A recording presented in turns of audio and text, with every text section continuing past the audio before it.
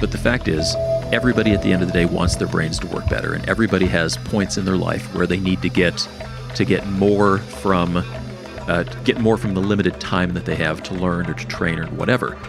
And we're we're learning so fast, so much about how this works that five years from now we're going to know exactly the the waveform to deliver that is best for whatever whatever category of stuff you want to learn.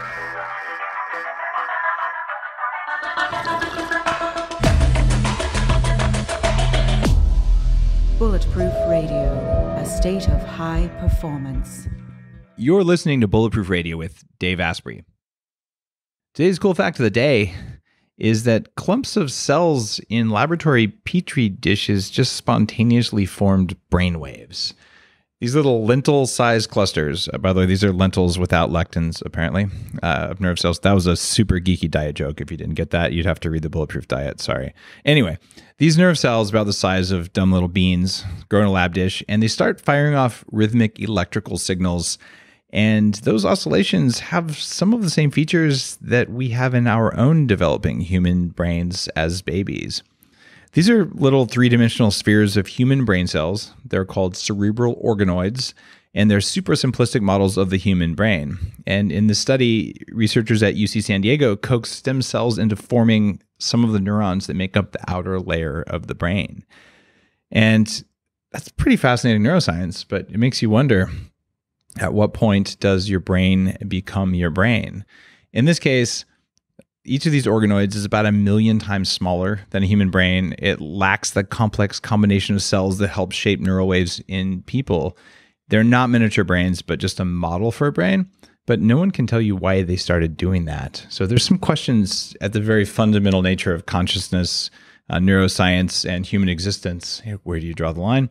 I don't really know, but I also know plants are smart too, and that's why I eat them. Today's episode is a special episode recorded live in San Francisco at the headquarters of Halo Neuro because we're going to talk about electrical stimulation of the brain. I figured what better place to do that.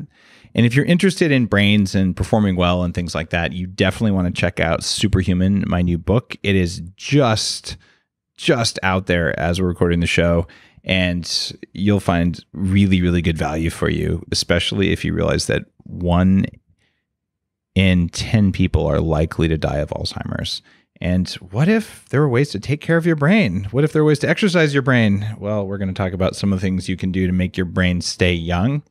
And on my website, daveasprey.com, you can actually see a picture of my brain response time that says I'm responding with a 20 year old's speed, even though I'm 46. Maybe some of the neurostimulation that we're going to talk about today is part of how I do that. Maybe it's just ping pong. Maybe it's mitochondrial enhancement. I don't really know, but you're going to learn a lot of cool stuff in today's episode. And it's really cool to be able to pick the brain of someone who's really looked at engineering and neuroscience where they come together. So I'm going to be interviewing the co creator of Halo Sport which is the world's first convenient wearable neurostimulator for athletes specifically. You might have seen videos of me doing uh, a ladder training, which I'm super not experienced in, with a halo on my head. And I actually use this thing at home all the time. So, with no further ado, I'm going to introduce you to Brett Wingeier, a PhD, CTO, co founder of Halo, and a guy who's going to blow your mind. Thanks, Dave. And, uh, and, and thanks for coming to Halo. It's really awesome to have you here. I was hoping you would completely freak out when I said you're going to blow my mind because you're actually running electricity across it. You know, that, that, that, that's what we're all about. D- we, didn't push any buttons for you. It didn't push any. No, no triggers here. No triggers. So, so, so, Dave, what, uh, what, what we're going to talk about today is uh, we're going to talk about making brains better, and that's as you know that's just about one of the most important things that we could possibly talk about. So we're going to talk about coffee pretty much because that's well, what makes so so i i i, I love coffee. Let, like let's let's just get that out there. Totally I, kidding. I love coffee. So i if I, it, we could talk about coffee for an hour and that'd be fantastic. Uh, that that would be my frontline technology for making the brain better. But the reason i wanted to pick your brain today uh, was you know something about learning and I know that people listening to Bulletproof Radio are interested in learning faster and just spending less time and energy getting stuff done. And since learning is a fact of life, we're all doing it all the time. What if you can acquire skills faster than normal? So explain to me uh, some of the the history of what we know about how we learn and why you got interested in this in the first place. Yeah, yeah. Well, so so brains love to learn, and that that's one of these fundamental things. It's neuroplasticity. That's what a brain does. Is it optimizes itself to get the job done, and the way that's happening under the hood is your brain cells are firing. That's that's what they do. They fire together, and they're they're constantly forming stronger and weaker connections that help them work together in exactly the right networks for exactly the right output. And what do we what do we mean by output? You know, that could mean um, the perfect backhand. It could mean the perfect uh, the perfect ping pong overhand spin shot, or it could mean learning a language. It's all about your brain optimizing itself to get the job done. I had a conversation uh, with my son. Uh, he's ten, and he said, "Daddy, what is the fastest way to learn something, or what is the best teacher?" And I, I thought about it, and I said, gravity. And he said, What? And I said, Because if you fall down, it hurts and you won't do it again. So the point that I was teaching was look, avoiding pain is something that we're wired into. Mm-hmm. So it seems like the first thing we learn is don't do things that hurt. Uh, and is that different than learn the perfect backhand, forehands, something else? What what's going on there? No, so so so it's exactly the same mechanism. Okay. And uh, you know, I, I I hear you because you know in in raising kids, um, you know, the, the guideline is if you're looking at something they're doing, you want it to be, you want to evaluate that is going to be just painful enough to be a life lesson, but not not bad enough to actually hurt you. So um, when when your brain does something that has a good result, then it activates mechanisms that reinforce those connections. When your brain does something that leads to pain, then it activates mechanisms that that uh, that make those networks less likely to fire together in the future. So it's it, it's the same effect. It's all neuroplasticity. All right. I'm I'm getting the neuroplasticity angle. It's a huge part of of Headstrong. My book was about how do I increase my own neuroplasticity, and certainly one of the technologies is uh, electrical stimulation. Mm-hmm. But it seems like the the ability to acquire a new language, let's say, is such a far cry from you know, learning how to walk or learning how to not fall on sharp things and, and things like that. At what point does learning stop being about pain avoidance and start becoming something that's more about skill acquisition and, and what motivates those those neurons to do that? How do we take control of that? Well, so the the cool thing here is that is that doing something well is so deeply satisfying and that it's it's wired into us. You know, you, you know that feeling you have when you when you execute on that perfect that perfect tennis stroke and okay. that feeling you have if you're if you're learning a language and you get out there and you say something right and you're out there and it's it's this enormously pleasurable feeling. And so that sensation of learning and doing something well, that's the reward that causes that feedback that reinforces reinforces the connections that led to that great outcome. I'm going to go back to pretty much my entire experience in school. And people appeared to want me to learn stuff that I just didn't really care about and it had no usefulness to me whatsoever. And by the way, if you're one of my teachers back then, I'm sorry, but I'm actually right. Most of what you were teaching me wasn't that useful, although I appreciate all of your service in putting up with my crap. Uh, but in all seriousness, you know, I don't really care what year someone did something 500 years ago. All I care about is why they did it right? But they never taught me the why. They just wanted me to memorize crap. Right. So, how do you make yourself in your career as an adult or as a teenager? How do you make yourself learn stuff you don't want to learn? Yeah, and and it's it's hard, and it's uh, you know, it's it's focus, and one of the one of the brain mechanisms that comes into this is what's called cognitive control.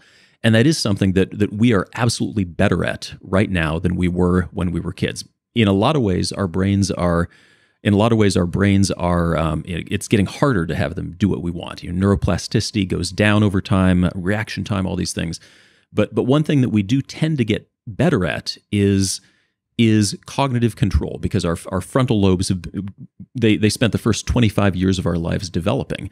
And cognitive control is, the, is your brain's ability to focus on what you want it to focus on instead of necessarily what, what it wants to focus on or the view out the window or whatever. So is this part of that with age comes wisdom? With yeah, with with with age comes wisdom. You know, if you and again, you know, there, there's there's plenty of stuff that does tend to go down as time goes by. But if you look at the plots, um, working memory decreases, reaction time decreases, um, ability to pack stuff into short-term mem- memory decreases. The one thing that stays constant is is knowledge of the world, and that's you know that, that's what we call wisdom. You know, and that that's why you know you picture picture the old silverback gorilla who's still able to keep up and knows some sneaky tricks to uh, to to keep to keep the dominance. That that's the silverback gorilla. We're we're, we're the silverback gorillas here. Uh, you know, having this this life life uh, uh world knowledge. All right, so our brain performance goes down over time, at least mm-hmm. if you don't do something about it. My my experience, just from my own measurements, I have let's see, my hippocampal volume is 87th percentile. So it's not shrinking the way it's supposed to shrink mm-hmm. uh, as I age. My reaction time on EEG to audio and video or uh, visual stimuli is exactly that of a 20 year old. Mm-hmm. I get more sleep in, well, last night, five and a half hours than the average 20 year old gets in eight hours. Mm-hmm and my working memory, I've trained that. Mm-hmm. So it's highly functional, probably better functioning than most 20 year olds as well. Right. So all of these things are exercisable. There are things you can make the brain do if you have, is it cognitive control you have to have in order to do that? Or is it willpower? And some of these, some of this training is annoying or it takes time. Mm-hmm. But what, what it enables people to decide that they're going to, to push themselves whether it's physically or mentally in order to do training on things like that. Right, right. You know, uh, so so part of it is cognitive control, which I think is just kind of another name for willpower. Um, and the ability to focus. Uh, you know, part of it is part of it is relevance. Um, if it's always easier to learn something or train or practice anything if you feel like it's relevant to, to to relevant to what you're doing every day, relevant to some goal that you actually care about. All right, let's talk about relevance then. You have more than 50 patents in your name. And so you've been pretty successful in biomedical engineering, um, but uh, you're also a singer songwriter. that's uh, right. That's right. Where's the relevance here? Like, like, why, why do you do both of those things? You know, I, so I, um, I, I, I guess there's a couple answers to that. Um, uh, you know, I, it's, it's, it's communication and communication is fun. And one yeah. thing I realized about myself is to, to bring this back to learning um, I'm what's called a uh, what I call a, perf- a, performing introvert, meaning I, the, everything about you know, how to kind of get out there and communicate. The, you know, there, there's people that that comes naturally for, and you know, again, I, I, I look at my nine year old, and that comes naturally to her. It comes naturally to my wife. Um, it for me, it was more of a learned skill, and part of that was just the the enjoyment of the more you get out there, the more you use this, the the more fun it is to communicate, and that that's what that's what music is for me. You know, I I, uh, I lived in New Orleans for a long time, and I was I did the singer songwriter thing in the '90s, and played at the played at the bars and the coffee shops and everything, and wrote some songs, and um, you know, and it was it, it's all it's all communication. You know, it gave this you know, this feeling of kind of uh, you know putting it out there and connecting with people. So it's it's the joy of skill acquisition is what drives you to do that. Yeah, the the, the joy of skill acquisition and then using that skill. Because you know when when you're when you're when you're writing a song, you're you're creating you know you're you're creating something and it, there's there's a whole ton of neuroscience behind that as well. Oh yeah. You know and, and the creative process is um, part of it is where you're generating ideas and you want to take the filter off and then part of it's where you're evaluating those ideas and you're discarding the 99% of those song lyrics that are just crap and you put the filter on a little bit and then you come out with that by pairing taking the filter off and putting it back on, you end up with something creative. And then you put that together with the the pleasure of learning learning the chord progression, learning everything, just being able to put it together, then execute on it. That's that. It's one of the most fun feelings that you that you could possibly have. Do you find that there's a, a crossover between the physical movement things and, and Halo is known for enhancing the motor cortex with electrical stimulation. So you get better physical skills. But we also know that the brain works better and improves anytime you have more muscles, you, anytime you move more, the brain increases function. Mm-hmm. Do you think that the neurostimulation for what it does for your physical movement is also has an effect on your personal singer songwriter abilities? Is there crossover? Yeah. So, so so yes, yes is the short answer. And, and, just to be really clear, I'm asking about your experience, not a, a claim on your product, because you do work for Halo. So yeah, okay. yeah, yeah. So so you know, personally, there there's a couple things there. So one is as as a musician, the the more you dial in the technical aspects of what you're doing, if you're able to grab for that. You know, a fifth diminished chord exactly where you want it and your fingers just know what to do, then then you can be free to be creative and express and improvise. And then if if you turn to other brain targets, and again this this is from personal experience, um, you know the, the brain the brain is more than just movement, and you know, whether it's you know whether it's neurostimulation or all these other principles of learning, um, you know the, the same applies to to to learning the lyrics and learning learning how to perform and all, all these other things that your brain that your brain learns. Do you use neurostimulation every day on yourself? So, so I don't use it every day, um, mostly because I don't I don't have time to train every day, and um, so I use it. I use it for climbing, and I use it for piano, and I use it uh, a couple times a week for those. Um, and for me, it's all about it's all about getting more out of less because you know, like like you, like like a lot of people, um, we don't have infinite time to train. You know, the the last the last time the last time I had infinite time to train was when I was you know, when I was six and time had no meaning, and I, you know, I could go out and you know you know practice with the the soccer ball or you know practice piano all day long. So it it, it helps get it helps gets helps get more out of limited time. When I talk about using neurostimulation, uh, the way that I use this, and I'm, now we're talking specifically about the Halo Sport, uh, which is the thing that you helped to invent. Uh, this thing, you put it on and you do something for 20 minutes. And what I've done, my kind of ritual is um, I will put it on and I'll hang out and make coffee with my son. Mm-hmm. And while my brain is doing that 20 minutes, it's sort of connect time. Mm-hmm. And then at the end of the 20 minute neuropriming period, there's an hour of enhanced neuroplasticity. Then I go down to the ping pong table and, and I kick his ass. and by the way, Alan, who, who, probably is listening to this, yeah, I know you win it more than half the time, but you know, I'm not going to admit that on the air, all right. But uh, um, I, I found I could not keep up the way 10 year olds, I mean, we started playing when he was maybe 6 mm-hmm. I would play with my left hand. I'm not left handed just to make it kind of fair. And it's to the point where if I play all out, we're very evenly matched. Mm-hmm. The problem is he's 10. He's not done being neuroplastic. He keeps continuing. And I found that the only way that I could even be a challenging opponent was if I did neuropriming. Mm-hmm. And sometimes I'll actually do neuropriming and I'll start playing. And after that 20 minute period, um, I'll feel it kick in. It's like the ball slows down, and oh, there, like now I can hit it, and it's it's a very tangible thing, mm-hmm. uh, which is which is kind of cool because years. In fact, you started Halo in 2013, right? Back in 2010, 2011, when the first TDCS research was coming out. TDCS, by the way, uh, just stands for transdermal cranial stimulation, the ability to run uh, an electrical current through a specific part of the brain. So I I looked at this and I bought a, a device that was not meant for doing that. It was meant for driving drugs through the skin. Mm-hmm. And I said, "All right, I'm I'm going to do this." It was called the the Chattanooga. That's and the it was, one. That's the one. Quite expensive and really inconvenient to use. But uh, I said, "I'm going to do archery with this thing."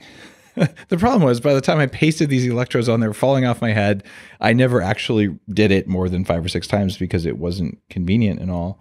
And I said, well, this is one of those things where it probably works for snipers and for drone pilots and that kind of skill acquisition because they are using TDCS for those mm-hmm. things. Uh, but then when you came out a couple years later, I'm like, oh, this is kind of a cool piece of tech because it's just headphones that work. And I started using it. And the reason you know, that I wanted to interview you is, is I've become you know, quite a fan of this because otherwise I can't keep up with my 10 year old.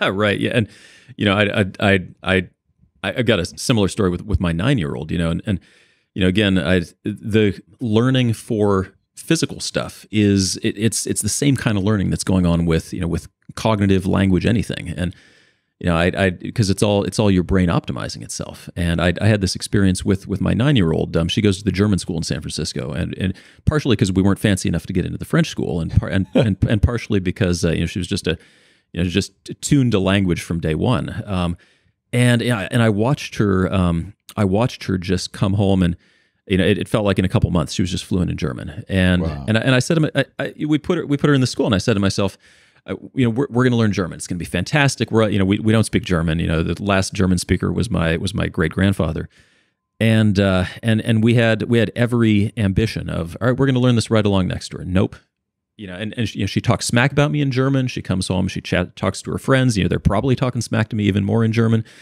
And uh, you know, it you know, you just you watch you watch a kid learn, and it's it it's it's this amazing thing, and it's because number one they have they have the time. Number two, they have the focus, and you know, depending on depending on how you parent, they don't have as much of the, you know, you don't have the phone with the work emails popping up every five minutes if you're a kid, and you know their their neuroplasticity is just is just dialed in from day one because they've got this this brain whose whole job, whose whole reason for existence is just soaking in information and learning skills. That is, uh, it, it's amazing to watch what they can do. But you talked about language, so I have an auditory processing unusual brain, and I've quantified this. There's narrow narrow spectrums of sound that I don't hear the same in each ear, and it means that my auditory filtering is is just different. And when I hear people speak French and Swedish, my wife is Swedish and speaks French. Um, it sounds I, I, don't hear the sounds. It just sounds like mush. Uh, she can say a word to me, and I'll say a different word back. Uh, it it does not it does not land in my brain, mm-hmm. and that's always kind of pissed me off. So I did a couple different experiments. One is I used one of the very first infrared light stimulators for the brain specifically. It was this homemade little rickety thing. And I put it over my language processing center above the left ear. And I spoke in garbled words in English for the next several hours. It scared the crap out of me. Like, man, I make my business in tech communicating, and all of a sudden I'm garbled. Fortunately, it got better. And I also tried running that ancient TDCS device before you came out with something usable over that same part of my brain. It didn't make me speak garbled, but I still couldn't do crap with French. Mm-hmm. So here's my question. When I'm stimulating my motor cortex, which is what the Halo Sport does today, uh, is there anything I can do to make reading better, to make memory acquisition or your memory storage better or to make my language my hearing better make my vocabulary better? Are, are, there any benefits to just running a current there or is this just for the motor cortex? So so same technology different part of the brain. So you move the electrodes around. Exactly yeah. So the, so so there there have always been in if you look if you look back at the, the all the scientific background here there there have always been two main clusters of great results in data and and one of them is movement primary motor cortex. And you know that's um, you know it that's the easiest to hit with something that looks like headphones but the other cluster of data here is in prefrontal cortex that, that's where I always put it. So I got to ask you this: mm-hmm. I'm holding up this cool set of headphones with little rubbery combs on it that get through your hair. Couldn't I just take my halo and wear it like like a stupid headband instead of like a proper set of headphones and stimulate my prefrontal cortex? I, I know this probably isn't the look you were going for, but can can can I do this? So it, it's it. You're it's, allowed to say no because you're not allowed to say yes. No, so so it, it's it's hitting the right part of your brain. You know that that that will that will hit prefrontal cortex. And you know, as as as a product designer, I'm going to step back and say, um, it, wait wait for Halo to. And I'm gonna I'm gonna tease I'm gonna tease this a little here. I'm gonna say wait for Halo to come out with something that is a prefrontal cortex stimulator and might be able to do exactly what you want and look good at the same time.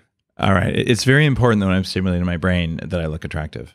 Um, I slept with uh, an EEG sleep monitor on my head for several years, the old Zeo, and the, the very earliest. Yeah, yeah, I've been tracking my sleep for more than 10 years, and a lot of the sleep hacking posts out there are copies of my original sleep hacking stuff. And I got to say, Victoria's Secret did not approve that model of headset, big blue, stupid neoprene thing, right, and all that. But I, I mean, it, it's nice. You, you, actually have really good industrial design on Halo. Just I, I was CTO of one of the wristband companies that does monitoring called Basis, so it, that that's all good. But I'm not sure most of us really even care. I mean, if you make me a little bit smarter and I have to look dumb for 20 minutes as I'm driving or something, I I wouldn't care. But if you can make it cool, all right, how soon do I get that? You know we're we're uh, we're, we're working on it. Put it All that right. way. And and and Dave, we. Uh, um, you know, we you you might you might just get a sneak preview of that, and oh, uh, we terrible, we, and and we, and we might be looking at you to help beta test that. I would love to be a beta tester. Um, I I envision a world because I live in it, um, a world where it's not as hard as we think it is to do all sorts of stuff, and you can increase energy in the brain. And, and a lot of my work how do i make the cells make more energy? But running a current through your brain also adds energy to your brain. Mm-hmm. and there's questions in neuroscience about how are electrons from an external source used? And we know from light that they actually can enter the electron transport chain. But do you think that we're going to end up in the future five years from now or something where we say, oh, great, you're 10 years old, put on this Halo hat, or you don't need it because you're 10, but you're 18 and you wanted to do this. So put this on and run this piece of software, and it's going to be way easier than it was before. Mm-hmm. Yeah, I, you know, the, with with a 10 year old, they're they're so plastic and just so good at learning in the first place. You know that that's further off, but uh, you know, some somebody somebody who's 18, somebody who has an an adult brain, there's there, there's so much room to there's so much room to improve focus and attention and the ability to learn. You know the, the, the, potential of the brain is really is really limitless. You've got 100 billion neurons and 100 trillion synapses to optimize there. And one of the things about this field is we're we're learning so fast how all this works under the hood. And there's really some groundbreaking uh, groundbreaking discoveries even just this year about how how this interacts with the fundamental neuroscience and the fundamental mechanisms of, of how your brain processes information that seemed like a bit of a dodge. So I, we're five years now. You say we're not going to do it with kids. Mm-hmm. So we're learning some more. But are we really going going to just say, okay, today I want to do X, so I'm going to stick this thing on my forehead or you know, behind my ear or wherever else? Is this is this going to be a normal thing, or is this going to be the domain of pro athletes and Hollywood people want to memorize their lines better? Like, is, is this really a consumer tech? You know, I so so so I'll give you the, I'll give you the simple answer. Yes. Um, okay. You know, it's so sure, five years out, it, it it's it's probably going to still be somewhere on the adoption curve. But but the fact is, everybody at the end of the day wants their brains to work better, and everybody has points in their life where they need to get to get more from uh, get more from the limited time that they have to learn or to train or whatever. And we're we're learning so fast, so much about how this works. That that's why I mentioned that this when I answered before. If five years from now we're going to know exactly the the waveform to deliver that is best for whatever whatever category of stuff you want to learn. And you're going to be able to dial that up. It's we're going to be able to pair it with training content learning content optimize the stimulation for your personal electrophysiology optimize the stimulation for the ebb and flow of your training um, dial it in and and and adapt it depending on how well you're doing. All all that all that's going to be in the cards, and that's that's going to happen in the next decade. And and I, I think we're going to be seeing that five years from now. What do you say to the uh, the Waldorf parents? By the way, uh, my kids are in a Waldorf school. Uh, so, what do you say to the Waldorf parents who are saying technology, uh, kids, or even adults, uh, this is unnatural. It, it's cheating. Uh, what's wrong with learning the old-fashioned way through repetition? Yeah. So, you know that that's that's still a great way to learn. But the, the thing about the thing about this technology, and I, I, we, we call it neuropriming. Um, mm-hmm. the, the thing about this technology is you're still leveraging the brain's natural mechanisms of learning, and those are so powerful and so effective that it, it doesn't it doesn't make sense to disrupt those. You know, this isn't the, it's not the Matrix. We're not downloading kung fu into your brain. Um, you know, it's it's using technology to make sure that your brain is dialed in and ready to use its natural learning mechanisms where and when you want it. And that's you know what you know if you're I'll, I'll use a, a, a, athlete metaphor here. You know, I, I was a rower in college, and um, you know I know when I got the most benefit out of my workouts, whether it was cognitive or physical. It was when I was just completely dialed in. I was engaged. I was ready to be neuroplastic and ready to focus. But I, I sure as hell did not have. I was not dialed in every 5 a.m. practice. I was dialed in a fraction of those. So being able to bring that where and when you want it, that's that, that's huge. And so you're leveraging the natural learning mechanism of your brain. Okay, so it's different than downloading Kung Fu, which is sad because if you could do that, I'd totally sign up for that. Like likewise, that give, give me 20 years for that one. All right, 20 years for that one. Uh, there's there's something about in in my perspective on all this about respecting your time here on Earth. Mm-hmm. Like, look, you could learn it twice as fast in exactly the same way. The end results are the same. Mm-hmm. Then why wouldn't you do it faster? And that's why I, I do my meditation with a computer telling me how to do it better and deeper and faster. So I can I can say, hurry, meditate. Right. right. with legitimacy. And I think what you're saying is if you're going to bother exercising, you might as well make your brain more neuroplastic so the exercise will stick better and you'll you'll you'll improve faster. Right. Right. Now, what do you say to the people who say, "Well, um, what what is the Halo now? What does it cost? It's costs uh, three ninety nine. Three ninety nine. Okay. And by the way, that that price isn't real for bulletproof uh, radio listeners because, uh, and, and thank you uh, for doing this. You're offering hundred dollars off for everyone uh, who listens to the show and uses code Dave at checkout. So that's a, a massive saving. So now it's three hundred dollars or slightly under. So people are going to say, well, how is it that you know some athletes have a four hundred dollar device? And other athletes don't have access to this technology aren't we creating a, a divide where you know, only the people who can afford to learn can learn quickly well, you know, the, the, thinking about access like that, sure, it's always part of the conversation with a new technology. But if, if you go into if you go into any gym where people are seriously training and you look around, if, if there's a if there's a rack of Halo Sport in that gym, those Halo Sports might be the the the single cheapest thing in the gym. You know, there's yeah you know there, there's you know there, there's there's technology in in these gyms and performance labs that costs hundreds of thousands of dollars. Yeah I, have that upgrade labs thing down in la it's it's a lot of money for that kind of gear. So you're saying look if you go to a gym you're spending 100 bucks a month mm-hmm. right? And there are people who can't afford to go to a gym and they go to the park and, or they don't have time to exercise or whatever. Right. But um, that there's always always advantages and disadvantages. It's a spectrum. Uh, and $400 is within the realm of consumer uh, possibility, especially if it doubles your workout effectiveness. Right. right. Uh, so then the ROI is very high on it. I, I do find I'm about two to three times a week is just because of the amount of time that I travel and the amount of time that I'm home and there's ping pong available and all that. um, what is the optimal amount of brain stimulation like uh, that, that you would say for, for the average human? So the, you know, th- this is one of those things where we turn to the science mm. and the, with, with brain stimulation, with anything with the brain, anything with your brain or body, you know you, you, you don't you don't want to train by running a marathon every day. And at some point there's there's a point of diminishing returns. Mm-hmm. so if you look at the science what the science squarely backs up is using this once a day on the order of say say every day five days a week um, two or three days a week is perfectly fine um, we don't really know where the point of diminishing returns is um, some of the science suggests if you know if you do if you do longer than a 30 minute session, which which we don't recommend, we don't let you do, then then there's probably some diminishing returns. Is there harm? So there, there's there there's no there's no evidence of harm. There's um, you know any kind of training if you use it past that point of diminishing returns, it it might be um, it, it, it certainly might it might not be a good use of your time. It might be counterproductive. Uh, there's there's there's no there's no harm. There's no harm. Okay, so that's that's a good thing. Having a good safety bar makes right. makes it a good decision to do something. I for for 20 years have done electrical brain stimulation. Before TDCS was created, the Russians pioneered alternating current across the brain right, as right. part of the space program. Mm-hmm.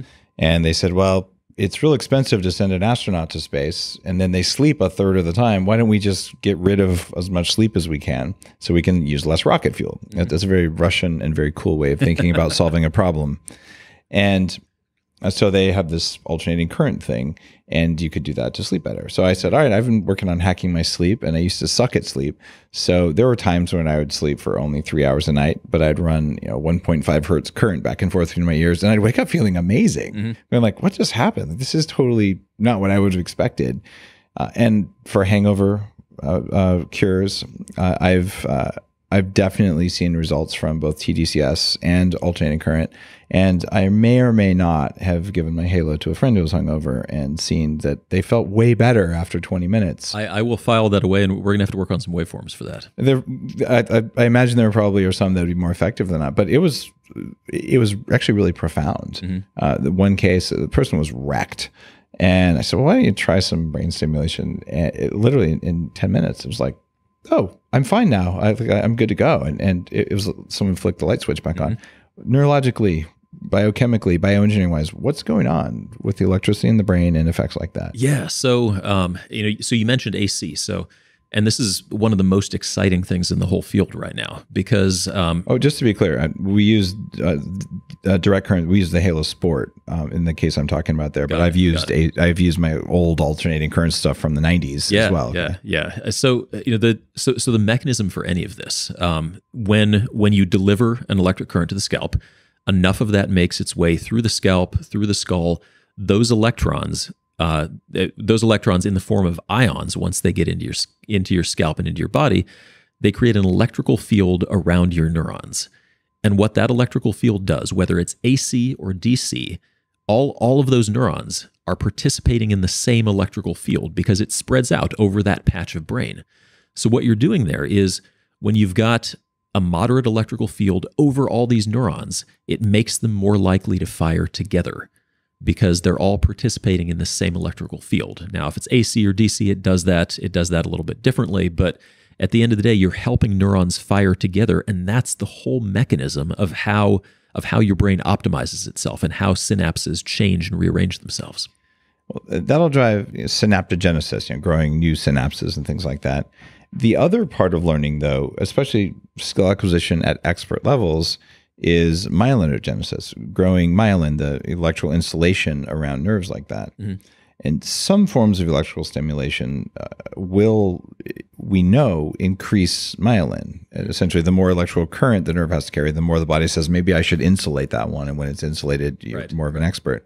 What I don't know, what I'm asking you now is, is the amount of current that comes from halo enough to drive myelin formation or is this just about synapse formation so so the amount of current that's coming from that's coming from halo or, or, any kind of technology like this yeah. is um, it's it's probably not enough to directly drive myelin formation although i, I, I gotta say i'm not i'm not an expert in that okay. in that part of this um, but what it what it does drive is it drives it drives this synchronous neural firing, which synaptogenesis is only part of it because part part of the changes that happen you have the structural change of generating new synapses but the way all of the fine tuning happens is the strength of all of these 100 trillion synapses is constantly being adjusted so that when when you get a signal from one neuron the next one along is either more or less likely to fire and that that actually that happens way faster than synaptogenesis and that that's actually the core mechanism of how your brain optimizes itself now once you have enough of that happening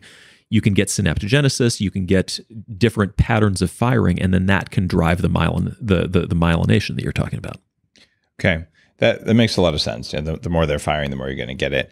The things that I'm familiar with that drive myelin specifically are more uh, peripheral nerves. Right. So some of the electrical stimulation gear that I have that it feels like your whole your body's kind of being hit with a taser.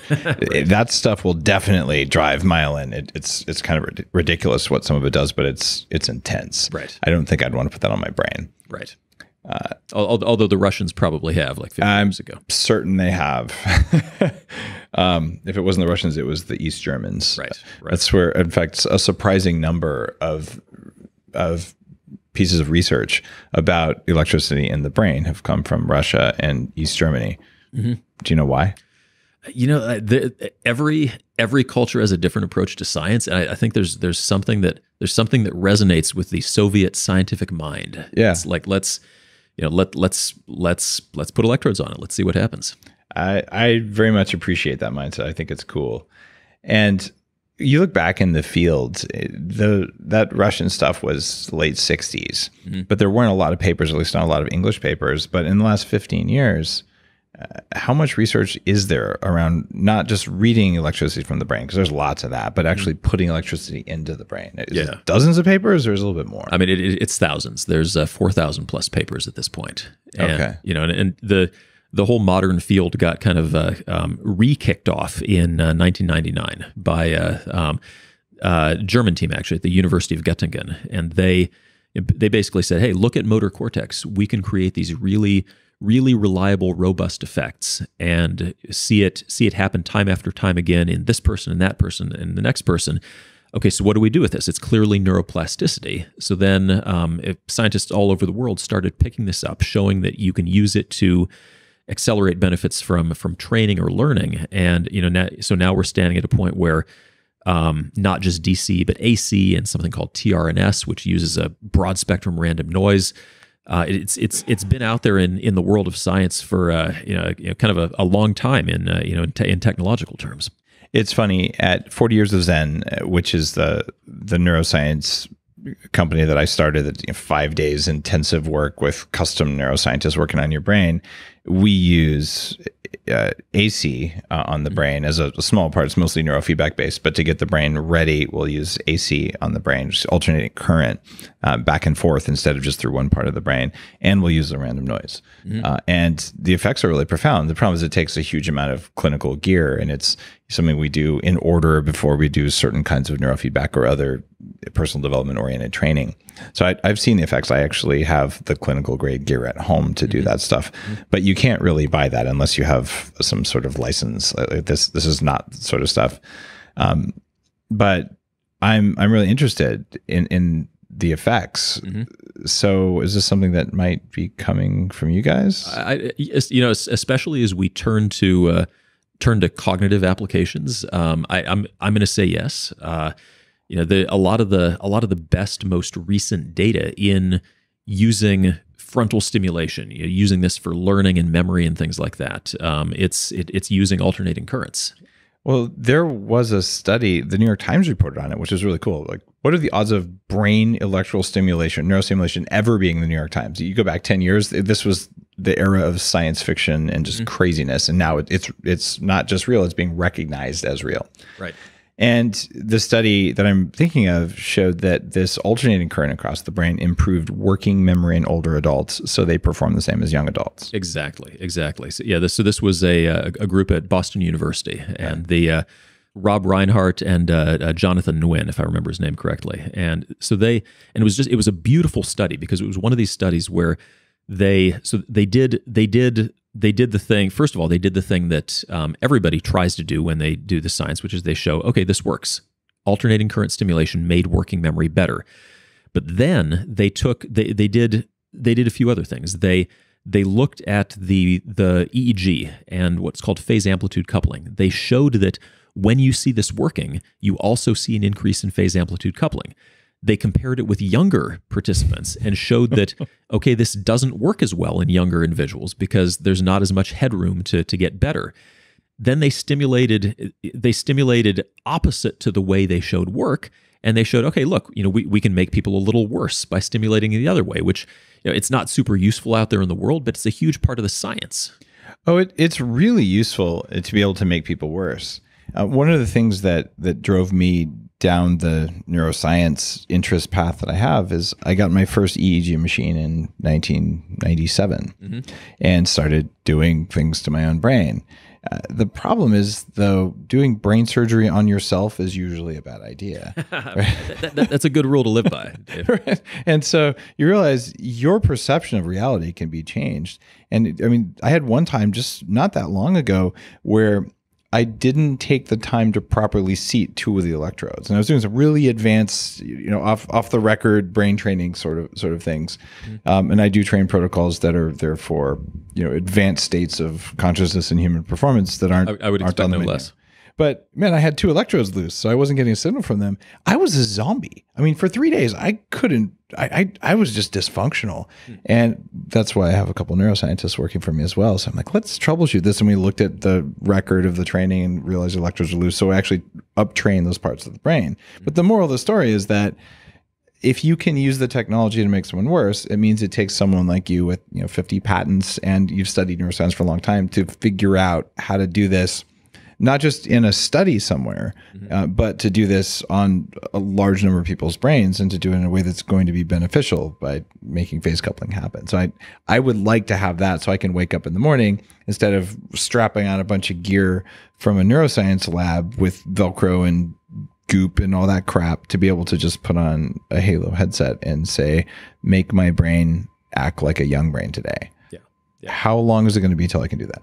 so so so we're on it All right, you're we're working on on it. it. we're on it yeah that's uh, you know and and You don't have to give me a launch date, but we're talking in the order of a year or two, not five years. Yeah, you know, we're, we're I, I- I think we're talking a year or two here. Okay. And um, you know, what's that's that's exciting on its own. And you know, just talking about kind of what the future holds here. Um, that what what we and you know, kind of everybody in the field, I think, will have in five years is is is the ability to not just deliver this neurostimulation but to but to personalize it because mm-hmm. you know, one one of the one of the key principles of interacting with the brain is you've got to close the loop and that's actually what my co-founder and I did at our previous company NeuroPace was we we were working on implantable neurostimulators for epilepsy Yep. well, you know that neurostimulation works pretty well if you turn it on and leave it on. turns it out it turns out it works better if you watch for seizures about to start and then you stimulate right when the seizure is about to start. So you know it, it, it, turns out that's it's this general principle for for working with the brain. Everything is better when you personalize it when you close the loop and you make it responsive. So we have our electrical engineers right now working on things like being able to record biosignals mm-hmm. from the from the headset. You know that that's that's not wow. today it's not tomorrow it's not it's not two years from now but that that's kind of the wave of the future. And, and that's the kind of it's the kind of thing that um, you know not not just us but everybody out in the field and in academia is thinking about there's there's been a long-standing problem of getting electrical signals off the brain mm-hmm. uh, because when you move, your muscles make electricity that's way stronger than your brain electricity, so you get artifacts all over the place. Right, right. Uh, so if you solve that problem uh, with a pair of headphones, uh, kudos. That that's been a, just a long-standing neuroscience yeah, annoyance. Yeah, it, I mean it, it's it, it's a hard problem, and I you know one of one of my uh, biggest moments of chagrin in my scientific career was uh, back. So I, my PhD was in uh, EEG and electric fields in the brain, and and back in 1998, uh, I I spent about a week thinking I'd made a, just an earth-shattering discovery of you know there's this there's this synchrony and it happens in the temporal lobes and it happens when uh, you know we were watching people um, doing mental subtraction, and this was this was when everybody in the field was starting to first starting to appreciate a lot of what synchrony between different parts of the brain. And I, I thought, I mean, I thought this was like Nobel Prize material. I mean, I, it, and then, and then we realized this was, so this was a participant who was, um, they, they had uh, math anxiety and they were clenching their teeth mm. when they were doing this mental calculation. And it, and it wasn't even brain. It was, it was their temporal muscles um, with this, with all this highly coherent activity because they were clenching their jaw artifacts are just the bane of of anyone's existence who works on this. People listening to the show be like, "What the heck is an artifact?" But here's the thing: if we're working on a signal, you're working on, on increasing motor function with running a current, and you think you're getting increased motor function, but you're not because of bad data. For example, it's it's a massive problem in science. And even things like fMRI which is a way we've been looking at people's brains they just noticed that the algorithms used for pretty much all fMRI research for the past 15 years were wrong. Right so all right. these neuroscience conclusions were were wrong. So the ability to actually get a real picture of what's going on in the brain so you can perform it it is really hard work. But you've right. done way more work on it than I have how hopeful are you that we're going to actually get good signals of what's going on in the brain when we're just going about our daily business? You know, it, it's it it's it's hard, but it's doable. Um, okay. You know, the, there's everybody everybody in the field has learned a lot more about what does artifact look like. How do you how do you separate it out? And you know, so much of this is understanding um, you can't always get good signals but what you what you got to be able to do is understand when are we getting a good signal and when aren't we because it's okay if they're not great signals all the time. You've just got to be able to understand when is it good so you can draw your conclusions from that. Okay, so the ability to parse out the bad stuff. I've worked with a developer um, at 40 Years of Zen to say, mm-hmm. all right, how do we identify a bad signal just to just cut that out? Like, I, right. I just don't want that. And I think there's lots of neuroscientists all over the place looking at machine learning and different ways to, to get that out. You guys clearly have the ability to know what's going on in the brain because you're an expert and because you, we just walked through the labs. I've, I've seen all your gear there. So you have the ability to say, all right, we're going to stimulate the brain and see what the brain does, which is super cool. I just, I want the day when I can get a on my my iPad. I can say, "Oh, here's what my kid's brain's doing. Here's what my brain's doing. Right. Yeah. right. Here's what all of our employees' brains are doing. And wow, they're all in chaos. Like maybe we could maybe we could do something about that. Not in an invasive way, mm-hmm. but in a in a helpful way. I don't want to read people's minds, although that'd be fun too. Uh, but I what I'd like to be able to do is be like, this person's like seriously not in a good place. Maybe we can just say, why don't you take the day off? Like, like wouldn't that mm-hmm. be awesome? Yeah, but right now yeah. we we don't have the signal.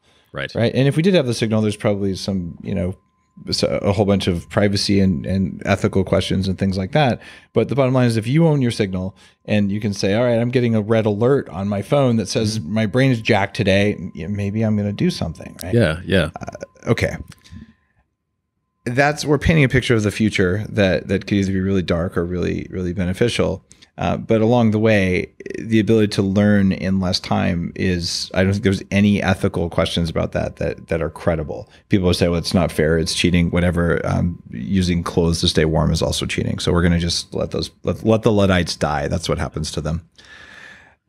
I want to talk about some of the cool new stuff that you're working on with, with Halo. Yeah. I, talked about language acquisition, which is actually really a hard thing to do. Mhm. But we also mentioned music. And Right. you're doing something now specifically to study neuroscience and music.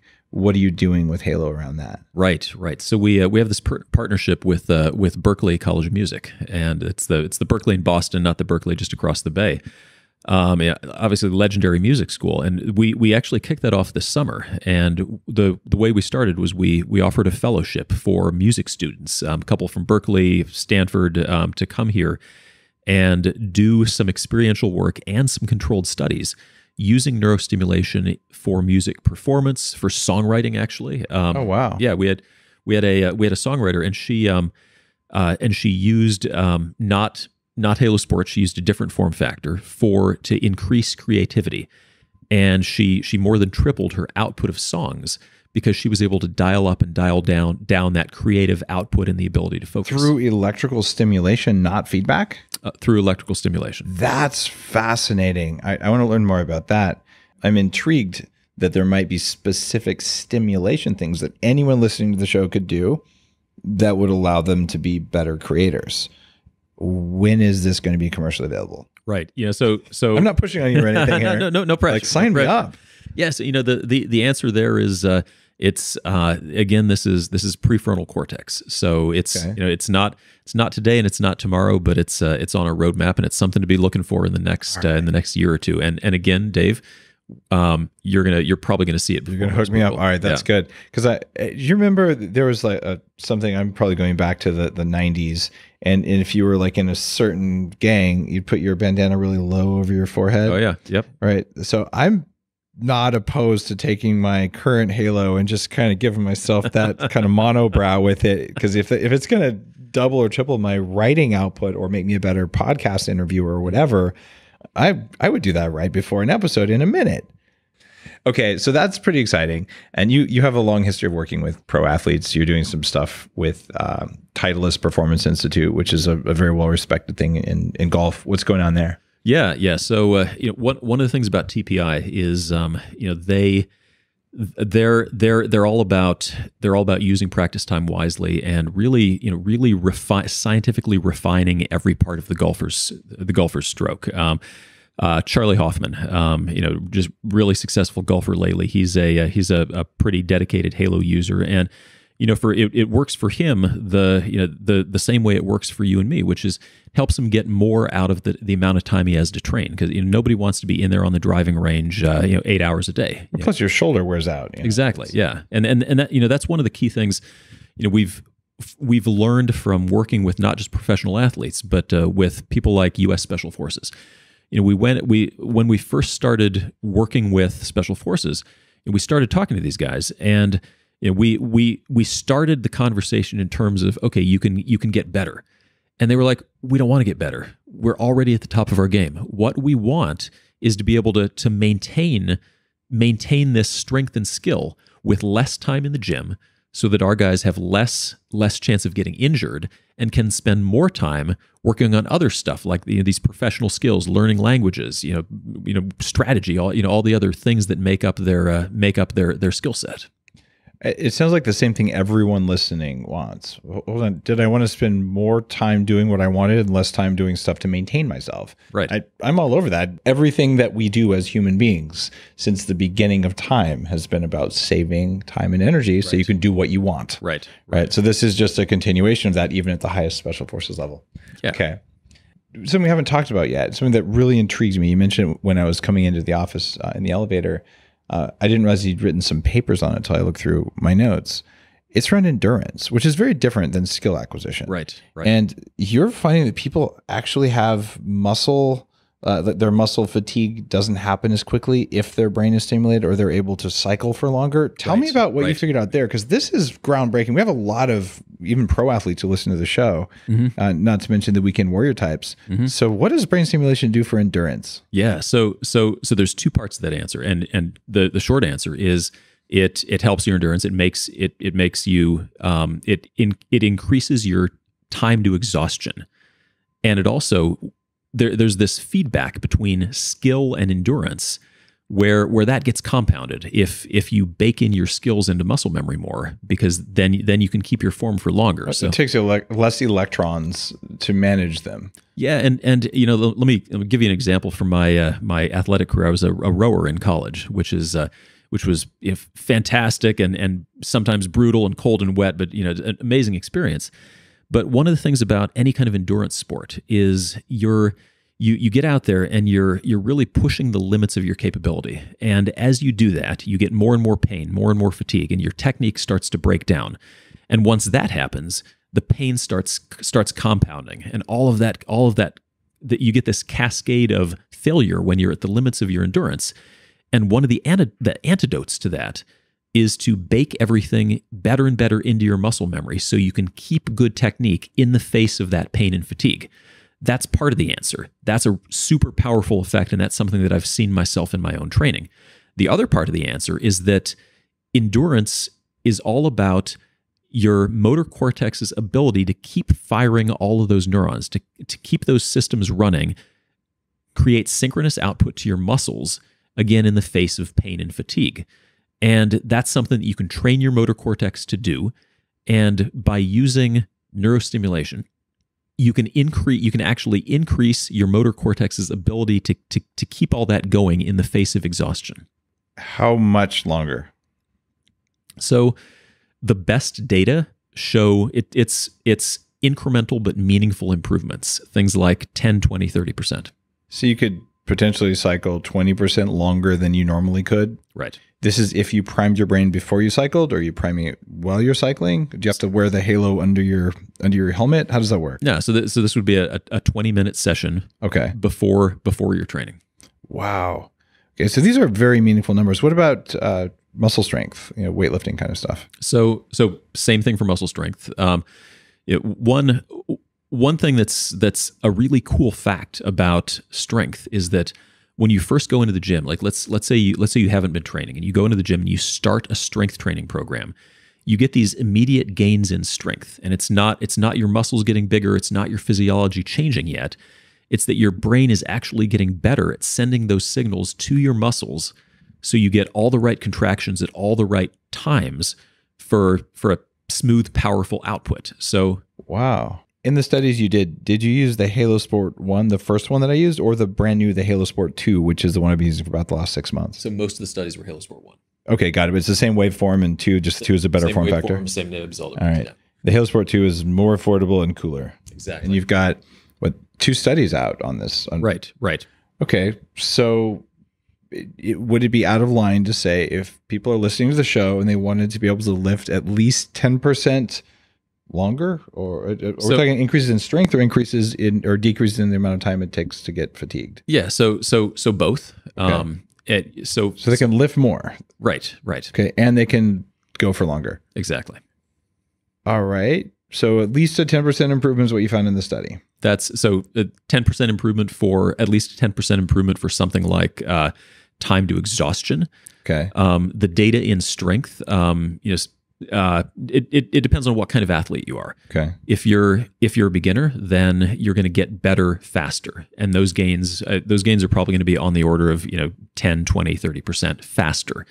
If you're if you're an experienced athlete, you know you're you're not you're not going to get 10 20 30% stronger some cases that would make you superhuman uh, yeah you know we you know we did we did a study with uh, with sparta science which is this performance center down in down in menlo park mm-hmm. and you know, th- th- those guys got um, you know three, four, five percent stronger, more explosive on things like vertical leap. That's you know if you're if you're a skilled athlete, that's super meaningful. That is a massive improvement. All right, well, those studies I think just speak for themselves in terms of of what Halo Sport does for people who really want to move well. I've just found that even the fine muscle stuff, the ability to hit a spin shot, uh, seeing the the ping pong ball slow down, this is meaningful stuff and I think it it isn't yet a, a big enough part of the national conversation about hey, if you wanted to improve, you could do this. And there's nothing that says you can't have one Halo in your family.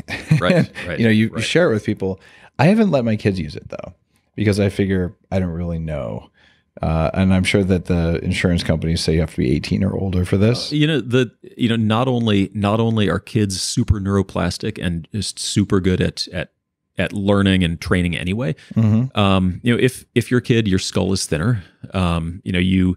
I mean, sure, you know, sure, you, d- your brain doesn't instantly change when you turn from 17 to 18, but uh, you know, we it, it is intended for adults only.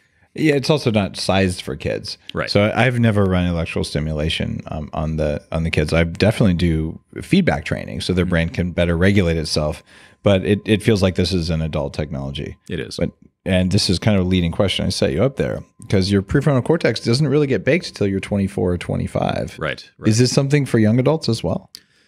So the so so yes, and one of the reasons I say that is because um, all of the basically all of the neuroscience literature that's ever been ever been produced, studied, every study that's been done virtually happens to have been done in neuroscience undergrads and grad students. So okay, that that's really smart. Like pretty much, they've only tested people in their early 20s. Right, uh, right. okay, I- I know, got the- you there. there's- you know, there's a lot of studies where you know they've intentionally gone out and done adults, but if if there's a result you see in the neuroscience literature, it's pro it it, it has probably been shown in people from 18 to about 24. Okay, that is profound. Uh, I'm just thinking, have I? I've I've done neurofeedback on my parents in their 70s. I haven't gone into like their 90s. I've had people come through after their 70s in the training, but I'm just wondering, like, should I go to my grandmother, give her my full stack of cognitive enhancers, and then put a Halo Sport on her to see what she does? So She's 97. Ni- ni- 97 Wow. so uh, you know so i so i can't i can't speak for the uh the nootropics and the the then and some of the cognitive enhancers but I- i can speak to neurostimulation Okay, let's talk about Yeah. that. I just feel like it works better if the cells have enough power to like fire up again. yeah yeah and you know there there are um there are changes that happen late in life and i think if you again if you step back and look at the data we scientists will look at the data the the data get more clear in healthy older adults because they're you know, because there's and, and uh, healthy older adults up to a certain point you know and the data you know 75 maybe 80 80 looking at results like this you know like this Reinhart study we talked about. Because at that point there there's more headroom to improve. You you're part of the way into this path of decline in working memory and things like that and there's more need for something to help with it. Now if if you if you get if you get to somebody who's 95 there are there are changes in you know, there's changes in brain anatomy there's um, a thicker layer of cerebrospinal fluid um, and and it puts you in a place where where the data aren't as well baked But also, there are vanishingly few healthy older adults. right Uh, so the sample size gets smaller and smaller. As a as a guy with a track record of being right before the studies a good amount of the time, i.e., keto and stuff, uh, I would bet on the electrical stimulation as being a beneficial thing to do a couple times a week in general as part of a mm. broad spectrum anti-aging brain program. Well, and- and, and, and- I've been doing it for 20 years. yeah yeah and and you know one of the one of the things about this technology is it's it's best used when you pair it with some kind of cognitive training learning so you know we're, we're not we're not saying don't do the crosswords don't do the brain training take neurostimulation pair it with Yes. high quality mindful thoughtful brain training physical training and and then and then it's all going to operate synergistically That sounds like a, a pretty good program for performing well for decades and decades and decades. Well, that was my my final question for you, other than the final final, which final is final bring it how long are you going to live? I mentioned my number of 180. You've got 50 patents. You're a bioengineering neuroscientist guy. You know a thing or two. What's your number? How long am I going to live? Um, I really think, I think at least 150 is. Uh, There we go. High five on that one. you know, there, there's there's so much. We're learning so much, Yeah. and you know, it's it's it, it's the stuff you're working on. It's the stuff that's out there in in in labs all over the world, and the the the stuff the stuff that's gonna the stuff that's gonna cure cancer, and is gonna fundamentally figure out how to how to reverse these uh, you know th- these cellular processes of aging, where you know you have the, the the ends of your you know your telomeres or whatever you're getting you know knocked off bit by bit. Um, the the the work that is going to nail that, it's probably happening literally right now. We're hacking all of it. And in fact, that's one of the seven pillars of aging that I, I write about in Superhuman, where, yeah, there are teams making massive progress on all these things, and the progress is accelerating.